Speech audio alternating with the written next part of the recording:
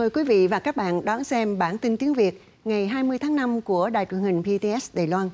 Thưa quý vị, lễ nhậm chức Tổng thống nhiệm kỳ thứ 16 của Tổng thống Lại Thanh Đức và Phó Tổng thống Tiêu Mỹ Cầm đã được diễn ra vào sáng hôm nay.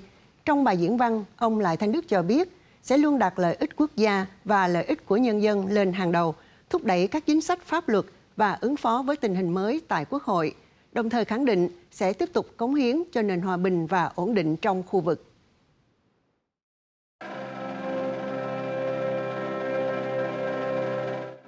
Dưới sự dẫn đầu của Tổng thống Thanh Văn, tân Tổng thống Lại Thanh Đức và Phó Tổng thống Tiêu Mỹ Cầm cùng hát quốc ca, thực hiện nghi lễ chào quốc kỳ và cúi chào trước di ảnh của quốc phụ Tôn Trung Sơn.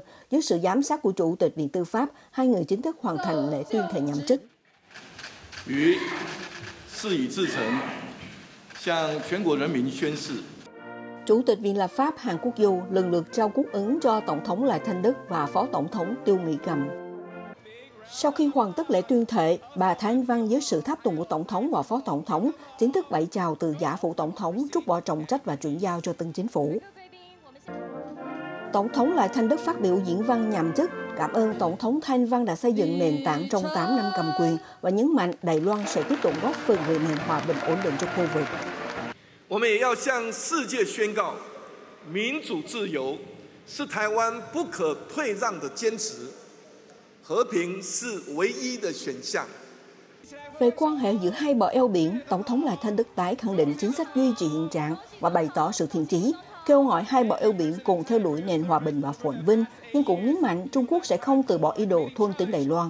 Vì thế, Đài Loan nên thể hiện quyết tâm bảo vệ quốc gia đến cùng. 我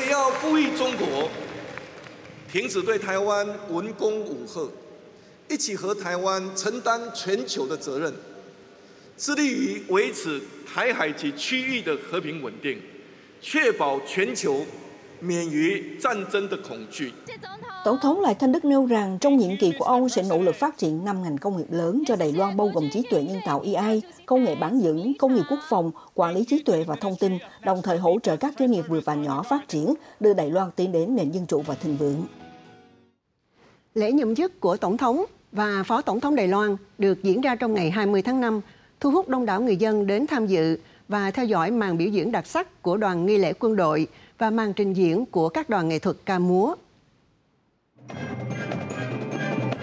Học sinh đội nhạc kèn của trường Trung học Kiến Trung và sinh viên Đại học Thể thao Quốc gia tham gia biểu diễn tại lễ tuyên thệ với màn biểu diễn trống chiên, phối hợp đội kèn tạo nên những điệu nhạc trẻ trung và sôi động, cùng với màn vũ hành của tác phẩm nghệ thuật trú ngựa xanh, tượng trưng cho sức mạnh kiên định và sự dũng dàng của Đài Loan. Đội nhạc nghi lễ kết hợp liên đội pháo binh thực hiện nghi thức bắn 21 phát đại bác, chúc mừng Tổng thống và chào đón đoàn đại biểu của các nước. Ngoài ra điểm nhấn trong đại lễ là màn trực thăng Chinook mang theo lá quốc kỳ khổng lồ bay qua bầu trời phục Tổng thống. 祝贺我们的赖总统，他荣臻了我们台湾的总统，当然期待很久。 Nhằm chào mừng đại lễ, đội trực thăng mang theo quốc kỳ và phi đội lôi hổ cũng đã bay qua bầu trời trước phủ tổng thống vào sáng nay trong lúc điệu nhạc quốc ca vừa vang lên. Buổi quốc tiệc lần đầu tiên được tổ chức tại khu vực An hiện Đài Nam vào tối nay. Bông hoa trang trí tại hội trường đã đặc biệt sử dụng kỹ thuật phun nano đưa hình vẽ quốc kỳ phun trên hoa lan Đài Loan để chào đón các đoàn đại biểu của nước ngoài. Trong ngày cuối của nhiệm kỳ, Tổng thống Thái Anh Văn đã lần lượt đón tiếp 6 đoàn đại diện nước ngoài.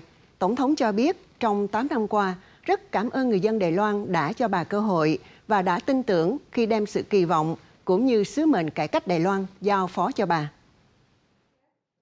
Vào ngày cuối của nhiệm kỳ, Tổng thống Thanh Văn đã đón tiếp 6 đoàn đại diện nước ngoài. Khi tiếp đoàn đại biểu chúc mừng từ Vương quốc Anh, bà Thanh Văn bày tỏ hy vọng Đài Loan và nước Anh tiếp tục quan hệ hợp tác, kỳ vọng trên cương vị là tân thành viên của CPTPP, nước Anh sẽ ủng hộ Đài Loan gia nhập vào hiệp định.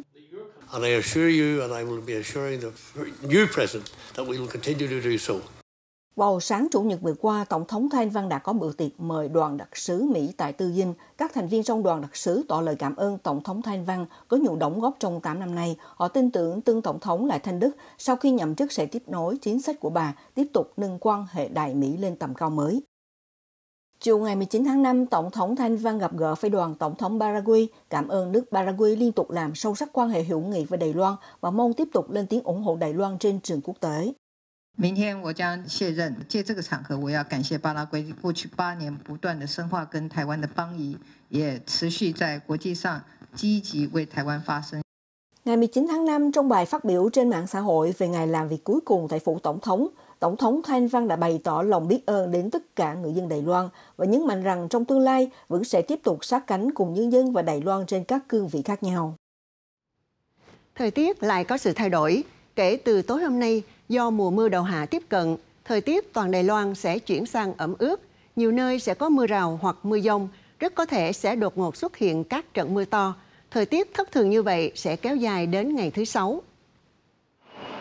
Mưa mùa hạ đang dần tiếp cận Đài Loan.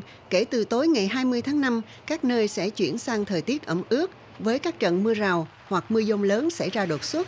Mặc dù chỉ là các cơn mưa ngắn, nhưng thời tiết thất thường như vậy sẽ kéo dài đến ngày thứ Sáu. 这种环境下发生的对流，它是比较容易带来瞬间大雨，那甚至有些雷击或强阵风的形态。所以，当对流通过的时候，要留意在户外活动可能要注意安全。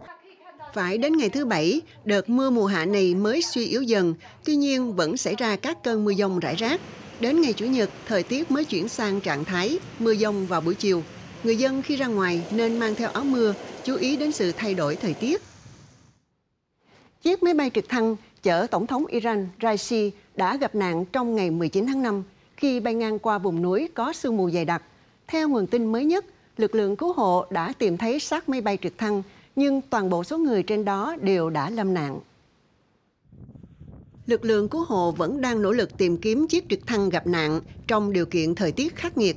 Ngày 19 tháng 5, chiếc trực thăng chở Tổng thống Iran Ibrahim Raisi đã bị rơi khi bay ngang qua vùng núi có sương mù dày đặc.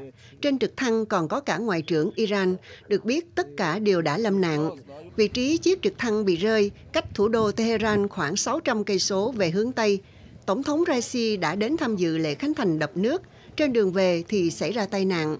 Theo quan chức tình báo Mỹ, không có chứng cứ cho thấy đây là vụ ám sát. Vừa rồi là bản tin tiếng Việt, Đài truyền hình PTS Đài Loan.